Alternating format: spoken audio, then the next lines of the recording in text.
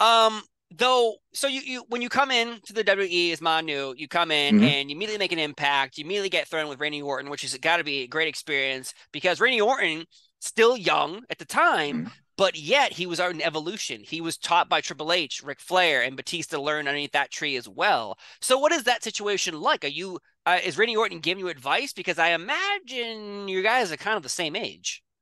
Yeah, yeah. Randy's a little bit older than me.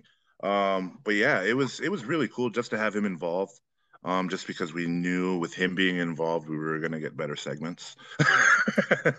you know, he's a former world champion and all this stuff. So it was that was really helped. That really helped. But Randy, he was cool. Um, it was kind of like follow my lead, kind of lead by example. He that's how he was. Um, but yeah, it was it was it was a great time to be with those guys. Uh, yeah, and again, Cody Rhodes now is like the second biggest wrestler in the world besides Roman Reigns, I guess, if you want to go with that. But then Ted DiBiase, unfortunately, is involved with some sticky situations, and then uh, you know, hmm, hmm, don't don't Life, don't do bad things. Everybody. yeah, yeah, I guess. Yeah, bad things happen to people who do bad things, and sometimes yeah, bad things happen sure. to good people. But I'm not in that situation, and we're not talking nope. about that situation. Um, Though eventually, though, you have I think you have a pretty good run, but then you're kicked out of Legacy. You're kicked mm-hmm. out of the group. And again, what is the concept? Are you asking questions? Are you like, why am I being kicked out? Yeah. So um at that time when when I got kicked out of the group, it was me and Snuka got kicked out. Um, and the initial idea was we were supposed to get repackaged as a team, um, me and Snuka, and we are supposed to come back as baby faces to work um, Ted and Cody. Okay. Um, so that was the idea when we got sent home. And It just never happened. Just never happened. You released in February of 2009. So yeah. you you came in and Unforgiven in 2008. I think that's like October of 08. 09. You're out. What's yeah. the excuse? Yeah, so um, I was told I wasn't aggressive enough. Um, total like kicking the nuts to me because I was insane at that time. They, like they had to tone me down. Like they, I was doing too much on on house shows and stuff like that, and they were just like, "Hey, kid, you gotta settle down, settle down, settle down." So I would settle down until they didn't say anything, and then when they did stop saying stuff, I guess I settled down too much.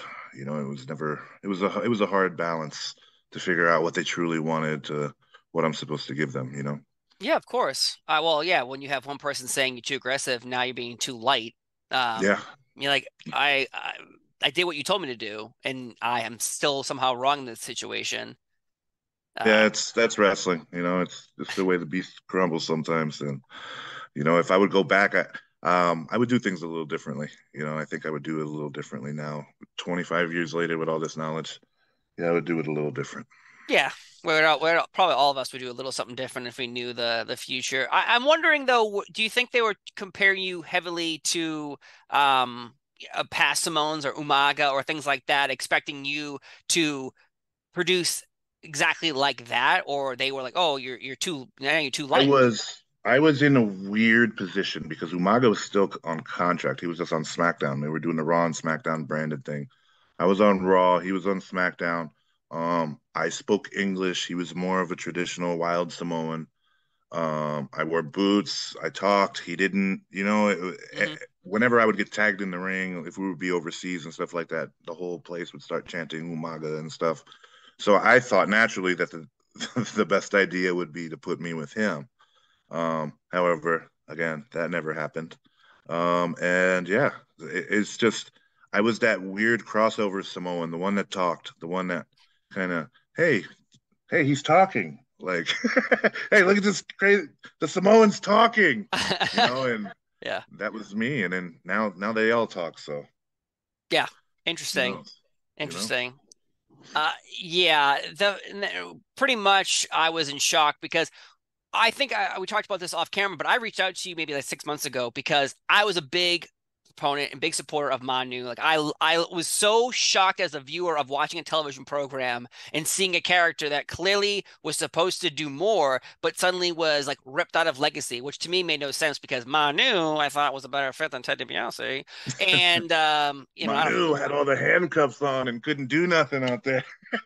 Because like that's the thing to me was like okay, you have two crisp, young, uh, you know, good looking little um wrestlers, but then you have the powerhouse, the Manu, like the guy who's gonna go out there and destroy people, un- unleash the the Kraken, you know, unleash the monster. Right, right. And Randy Orton had the keys, and yet they never. It felt like it was like a a car trying to move forward with the the brakes on.